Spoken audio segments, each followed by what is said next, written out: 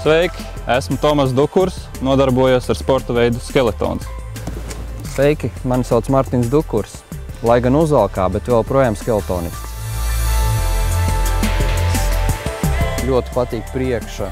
Pirmkārt, uh, lampas kaut kas, kas varētu būt no Q7, bet es, es tās lampas saucu Volkswagen par široko lampām. Es nezinu, varbūt tas ir maldīgs uzskats, bet, bet principā priekša man, manā skatījumā ļoti izdevusies. Visas tās fīčiņas, kas ir saliktas klāt, es nezinu, ko tas uh, cenas ziņā maksā, bet uh, vizuāli ļoti baudāms.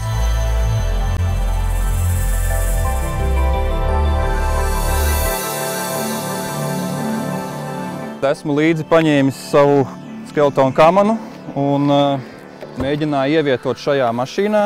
Ar pirmo neizdevās, jo platumā viņa nelīda, tāpēc nācās nolaist vienu no beņķiem zemē.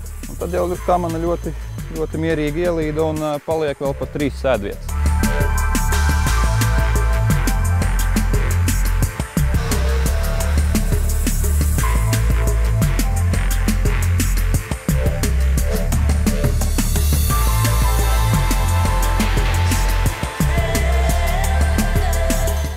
Pirmais iespējas ir tāds, ka man patīk tas, ka tu esi bijis augstāk nekā parastā vieglajā mašīnā.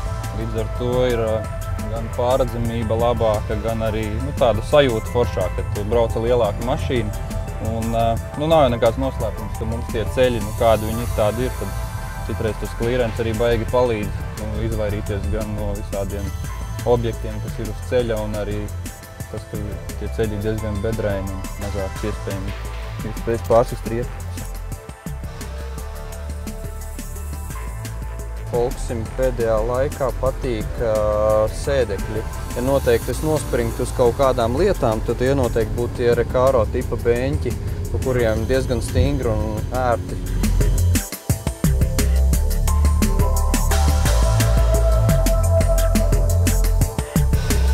Lielākā problēma ir, ka es sēžu, kad ir kaut kāda konsula izvirzījums, kad celī vai kur durās, tam es pievēršu uzmanību, vai šitajā pusē, bet šeit ir diezgan daudz vietas un diezgan ērti sēdēt. Vizuāli varbūt tā nav baigi lielā mašīna, bet nu, tādai ģimenei, kur nav daudz bērnu, ļoti normāls variants.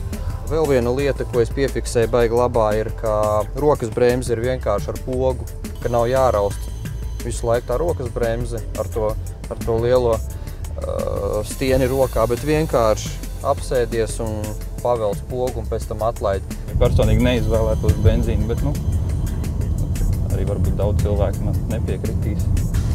Kārbs liekties? Kārbs, liek, kārbs lēdzās labi, bet es nekad, ja pirktu, neizvēlētos manuālo kārbu.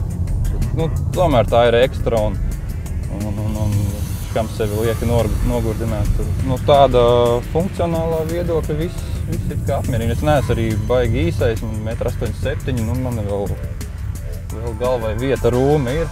Kājas arī var, var viss. Kā man arī var ielikt, tā kā viss ir baigi, baigi kā vajag.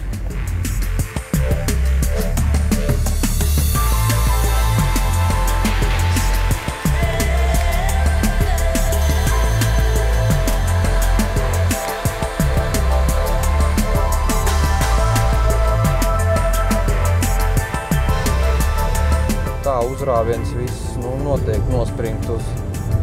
Jā, šī ir jaunīgā. Mm -hmm. Arī ļoti brīvi iet resurss pietiekams un Stūrēšana. patīkam. Vadās stūri, ne, liekas ne pa vieglu, ne pa smagu.